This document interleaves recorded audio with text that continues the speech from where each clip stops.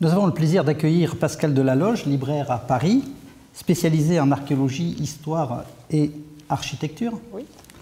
Euh, librairie donc Picard et Epona. Voilà. Donc la librairie des éditions Picard et des éditions Errance à la base, qui est donc euh, qui d'abord propose des catalogues de ces deux éditeurs et donc un assortiment ensuite autour des productions de ces éditeurs qui sont des livres d'archéologie, d'histoire antique, d'histoire médiévale, préhistoire, tout ce qui est patrimoine.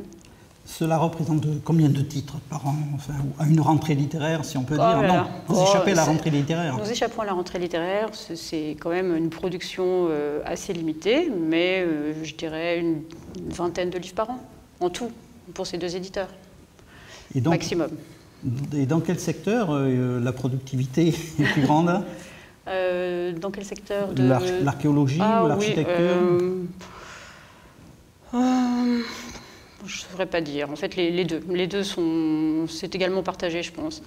Euh, J'essaye de. Je, il aurait fallu que je vous donne des exemples, mais là, j'en ai pas sur le bout de la. Typologie de, les clients, la typologie, ce sont plutôt des jeunes étudiants, des chercheurs anciens ou des, ou des passionnés d'archéologie euh, Alors, de des passionnés d'archéologie, des chercheurs. En fait, nous avons une clientèle euh, que nous avons construite au fil des années, donc euh, qui n'est plus forcément toute jeune. Et effectivement, nous attirons aussi quelques étudiants, mais je trouve qu'ils sont quand même moins. euh, ils achètent plus difficilement des livres, il faut le reconnaître. Euh, je pense qu'ils se. Peut-être ils, ils achètent ailleurs ou ils consomment différemment. En tout cas, c'est pas tout à fait le même.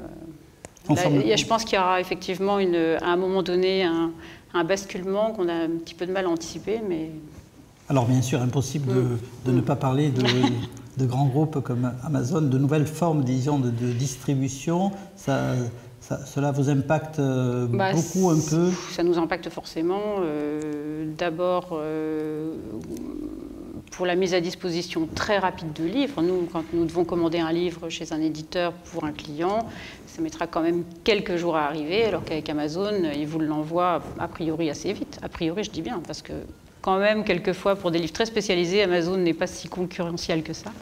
Alors parlez-nous par- parlez-nous donc du rôle irremplaçable du, du libraire dans le conseil.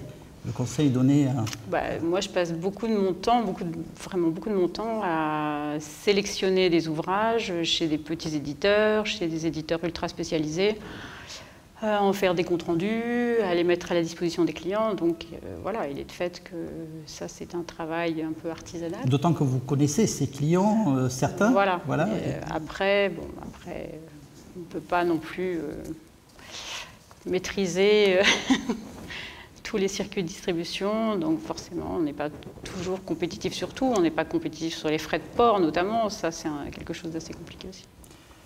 Les nouveaux aspects, nouvelles formes d'édition, euh, la BD par exemple dans l'archéologie, euh, le roman graphique, euh, Mhm. ça, ça pénètre aussi des librairies traditionnelles Oui, bien On sûr. peut dire que vous êtes une librairie traditionnelle ce sont- Oui, on peut, on peut dire ça, mais on essaye toujours, enfin on espère toujours, grâce à ces, comment dire, à ces médias, enfin, par exemple bande dessinée ou roman graphique, de, de conquérir aussi un nouveau public.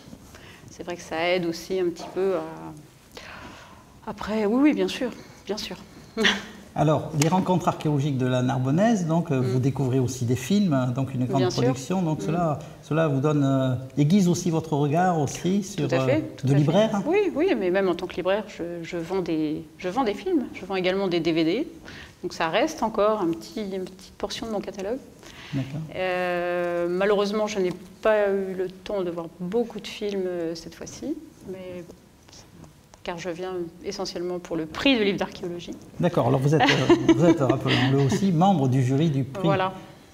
Du prix Pour- du livre d'archéologie, des rencontres de la Narbonnaise. Donc, et la difficulté peut-être, euh, comme dans tout jury, de, de sélectionner, mais ça on ne peut pas savoir, Ah, que pardon, vous ne pouvez pas le savoir. nous le saurons ce soir. Vous le donc, saurez ce soir. Voilà.